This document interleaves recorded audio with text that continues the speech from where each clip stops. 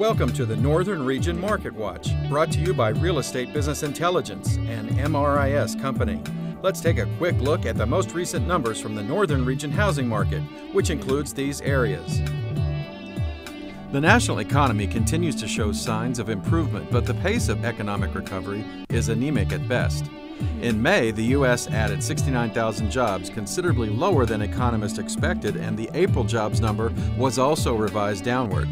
This put the brakes on the unemployment rate's previous declines and pushed it up slightly to 8.2% in May. While national job growth has been slow, all recent gains have been in the private sector. From May 2011 to May 2012, the U.S. added 1.8 million new jobs, with growth in all sectors except the government and information sectors. The local economy is experiencing steady improvement. The unemployment rate in the northern region is 6.4%, and over the past 12 months, the region added about 3,300 jobs. Activity in the northern region housing market is also on the rise, though inventory remains low.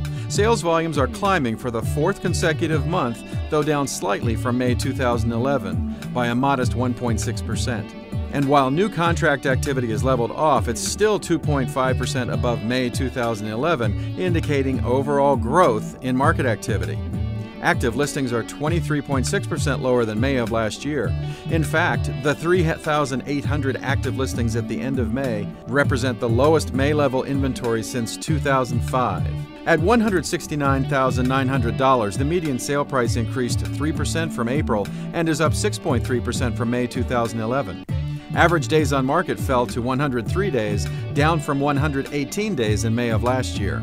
If market demand continues to increase, as evidenced by rising contract activity and decreasing days on market, combined with low inventory, the laws of supply and demand tell us prices will have no choice but to increase in the coming months.